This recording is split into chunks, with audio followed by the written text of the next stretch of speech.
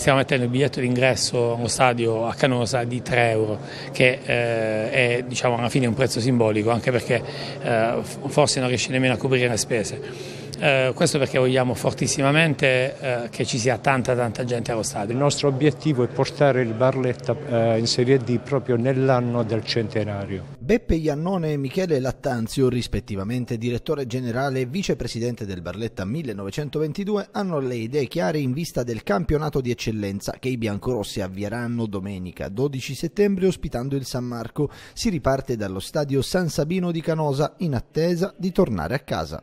Al Puttilli stanno lavorando, eh, per gennaio dovremmo avere lo stadio, quindi ci sarà più possibilità, più visibilità e anche eh, più, eh, più spettatori, è quello che a noi interessa moltissimo. Dopo il test di Coppa Italia pareggiato contro l'Unione Calcio Bisceglie, mister Farina aveva spiegato che per il miglior Barletta sarebbe stato necessario attendere almeno un paio di settimane. Quest'anno eh, ripartiamo da zero, penso che non ci debbano essere problemi con eventuali interruzioni, anche perché eh, alla fine diciamo, la pandemia comunque è abbastanza controllata, si entrerà col Green Pass, si entrerà eh, con la capienza al 50%, eh, penso che comunque non ci siano diciamo, grossi problemi per quanto riguarda eh, il proseguo del campionato, la speranza è che anche noi siamo all'altezza. Tucci, Pignataro, Lavopa, Vicedomini e Pinto sono solo alcuni dei rinforzi garantiti all'organico bianco-rosso per una rosa che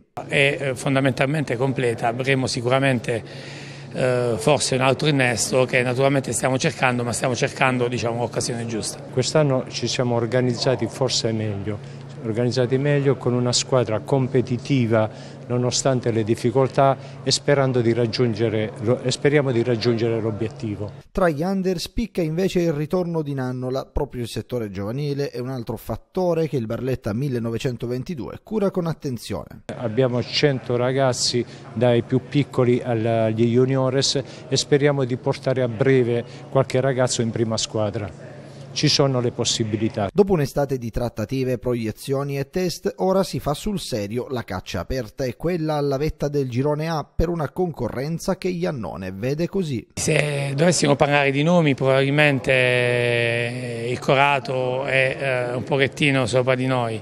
Io invece sono abbastanza fiducioso anche perché abbiamo confermato il mister, abbiamo confermato una buona parte della rosa, abbiamo integrato la rosa con elementi validi.